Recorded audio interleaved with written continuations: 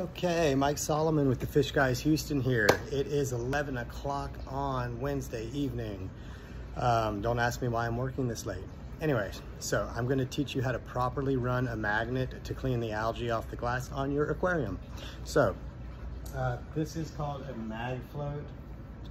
And uh, basically it's got a rough little pad on the inside. And then on the outside, it's just, you know, got a soft pad. First things first is you wanna make sure that there's no gravel stuck in there because if you do, what's gonna happen? You're gonna scratch the hell out of your glass and trust me, you do not want to do that. Um, so you just kind of go, the magnet floats like that. So you just catch it, go like that and flip it to the side and just have a look and make sure there's no little bits of gravel in there.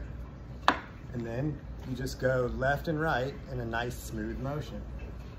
Make sure that when you get close to the um, silicone on the edges that you don't tear it up. I've seen a lot of tanks from some of the other companies in town uh, not train their employees properly and what happens is they rip up the silicone and the tank starts looking like dog crap.